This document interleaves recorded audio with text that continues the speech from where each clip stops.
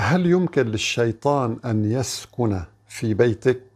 وما هي الأعمال التي تجعل الشياطين ينتشرون في البيت؟ سوف نتحدث اليوم عن خمسة أمور تجعل الشيطان يسكن في بيتك ولا يفارقه وإليك الحل أخي الحبيب. حتى يتبين لهم أنه الحق. بسم الله الرحمن الرحيم الحمد لله رب العالمين وصلى الله على حبيبنا محمد وعلى اله واصحابه وسلم تسليما كثيرا الحقيقة أخي الحبيب موضوع مهم نغفله كثيرا لا نتذكره بسبب ضغط الاعلام وضغط الانترنت من حولنا وكل ما هو حولك يدعوك للهو والعبث وينسيك العدو الأول لك وهو الشيطان. نحن اليوم سنحاول أن نتذكر بعض الآيات القرآنية التي للأسف نسيناها. إن الشيطان لكم عدو فاتخذوه عدوا، هذه آية تأمرني وتأمرك أن نتخذ الشيطان عدوا، ما معنى فاتخذوه؟ يعني خذ كل الاحتياطات ضد هذا الشيطان.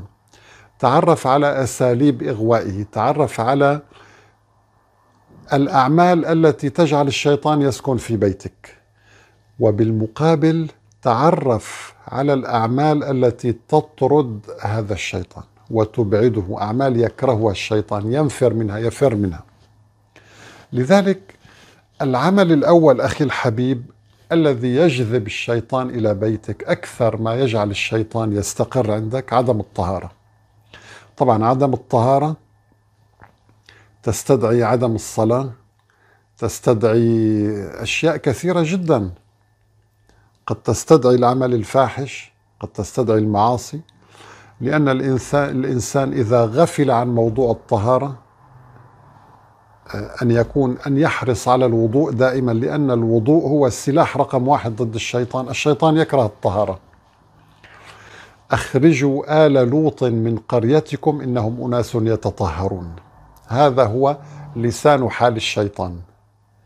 يكره الإنسان الذي يتطهر ينظف نفسه يطهر نفسه يتوضأ.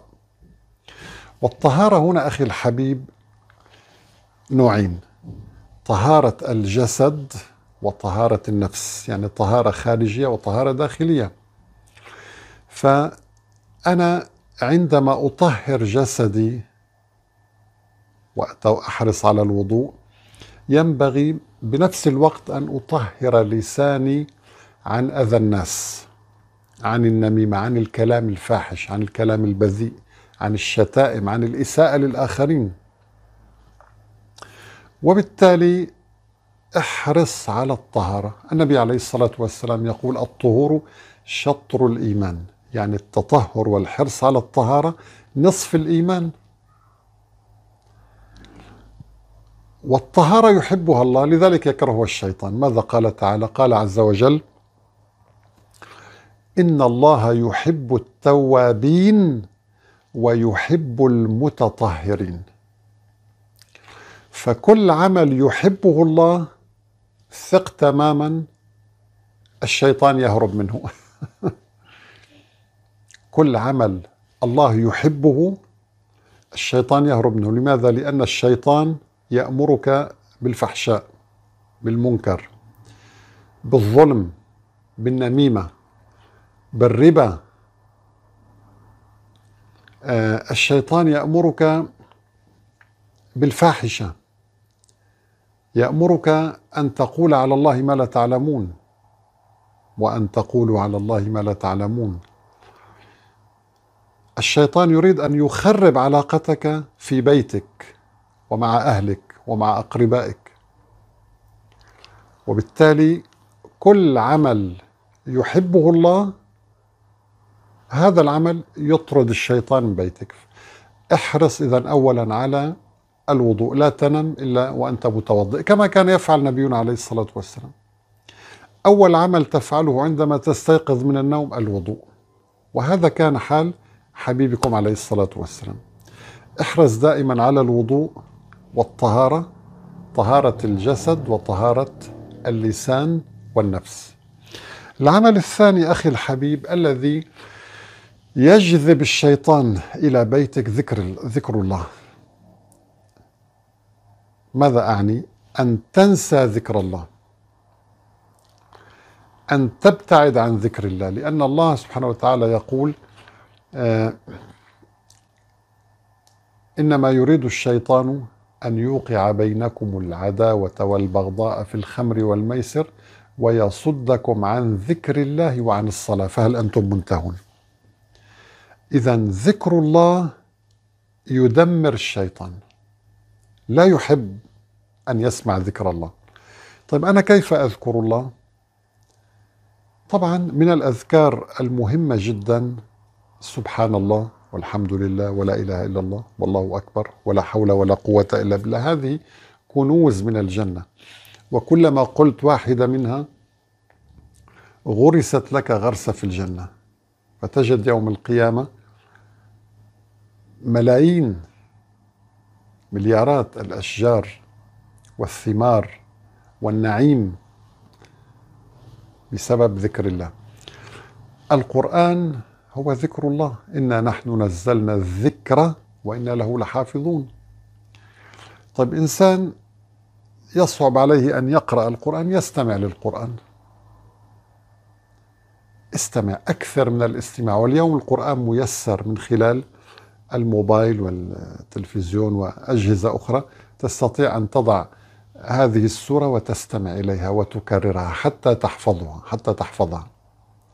فإذا عدم ذكر الله في بيتك يجذب الشياطين يجدون مستقرا عندك. فأي مشكلة تحدث معك في بيتك تذكر دائما أو فورا تذكر أن الشيطان وراءها. فأكثر من ذكر الله. اقرأ المعوذتين. اقرأ قل هو الله أحد اقرأ الفاتحة اقرأ آية الكرسي. ضع سورة البقرة واستمع إليها. ستجد أن الشيطان ينفر بل إن الشيطان يفر من البيت الذي تقرأ فيه سورة البقرة. العمل الثالث أخي الحبيب الذي معظمنا يغفل عنه.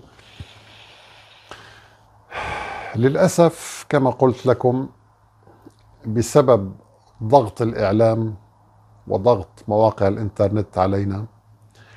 وحبنا للدنيا لم نعد نفكر بلقاء الله ولا بالآخرة. عندما تبتعد عن الآخرة أنت تبتعد عن الله وتقترب من الشيطان. معادلة بسيطة جدا. كلما فكرت بالآخرة وفكرت بالله ولقاء الله ابتعدت عن الشيطان. إذا في بيتك الآن أنت أدرس حياتك الآن. كم مرة تفكر بلقاء الله كل يوم؟ كم مرة تفكر بالآخرة؟ كم مرة تفكر بالجنة؟ كم مرة تفكر أن تنجي نفسك من عذاب النار؟ كم مرة تدعو الله رغبا ورهبا؟ إنهم كانوا يسارعون في الخيرات ويدعوننا رغبا يعني رغبة بما عند الله ونعيمه ورهبا خوفا من عذابه. كم مرة اليوم فكرت أن تخاف من عذاب النار وتقول اللهم أجرني من عذاب النار؟ كم مرة قلت اليوم اللهم قنا عذابك يوم تبعث عبادك؟ هذه هذا الدعاء كان يحرص عليه النبي بخاصة قبل النوم. كم مرة قلته؟ ربما يكون الجواب قليل جدا أو ربما صفر. فلذلك عدم تذكر الآخرة وتذكر لقاء الله وتذكر يوم القيامة وتذكر الموت أيضا لأن الموت هو أول منازل الآخرة. ثق تماما هذا الأمر إذا لم تفكر به ستجد نفسك بين يدي الشيطان. استحوذ عليهم الشيطان فأنساهم ذكر الله. والعياذ بالله. العمل الرابع أخي الحبيب وهو مهم جدا للأسف تساهل فيه الكثيرون اليوم وهو أمر يجذب الشيطان إلى البيت وتكثر معه المشاكل وهو ترك الصلاة أو عدم الالتزام بالصلاة أو عدم تأدية الصلاة بخشوعها وتدبرها ومعانيها. تجد إنسان يصلي بسرعة ولا يفقه شيئا ولا يدري ماذا فعل. كأن صلاته لا قيمة لها على فكرة. الصلاة تحتاج إلى خشوع. قد أفلح المؤمنون الذين هم في صلاتهم خاشعون. الشيطان يريد أن يصدكم عن ماذا؟ عن ذكر الله وعن الصلاة. من خلال طبعا الخمر والميسر. طبعا نحن لم نذكر الفواحش لأن أي فاحشة تقوم بها تجذب الشيطان إلى بيتك.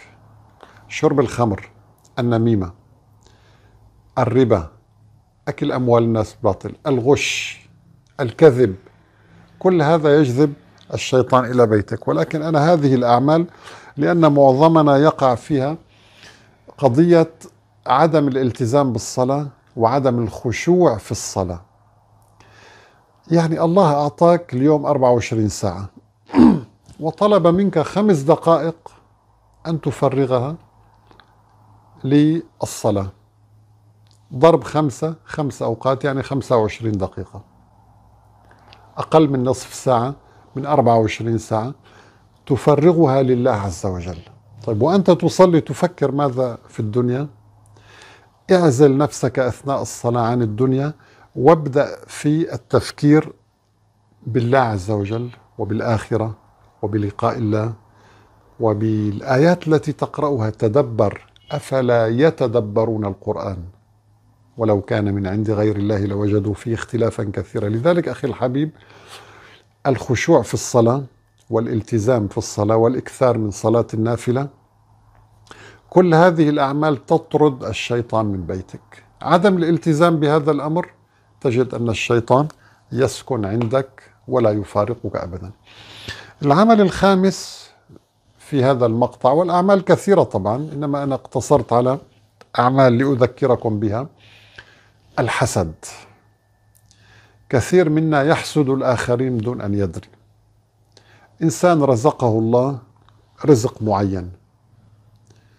فتجد أن البعض ينظر إليه نظرة يتم يعني يتمنى زوال هذا الخير عنه أو يتمنى أن تكون هذه النعمة له ويقول لماذا الله أعطاه ولم يعطني؟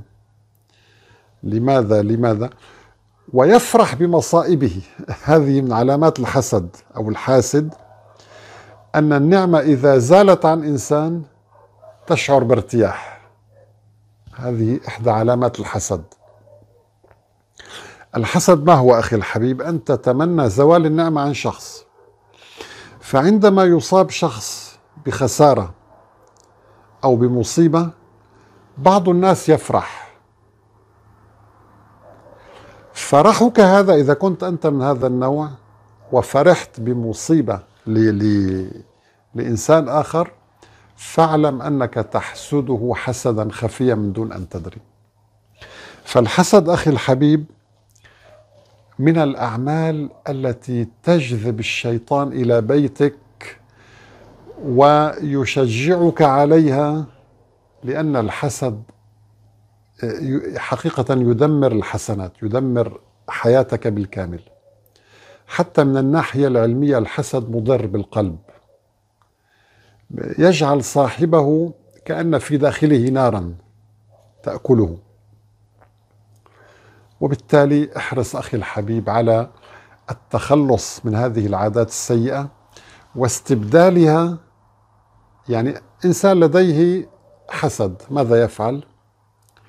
يتذكر أن الله هو الرزاق ويتذكر أن وما عند الله خير وأبقى. ويتذكر أن الله هو الذي يعطي وهو الذي يمنع. ويتذكر أن هذه النعمة عند فلان أو هذا المال عند فلان قد يكون فتنة له قد يكون سببا في دخوله النار والعياذ بالله. قد يكون سببا في شقائه. فيقول الحمد لله الذي خلقني كما أنا وقسم لي هذا الرزق و آه، وحتى عند البلاء يحمد الله. عندما تبتلى بالنقص والفقر والظلم والأذى والمرض احمد الله سبحانه وتعالى لأن كل شيء بيد الله أخي الحبيب. إذا لم تقتنع بهذا الأمر ستتعب كثيرا ولن تأخذ إلا ما كتبه الله لك.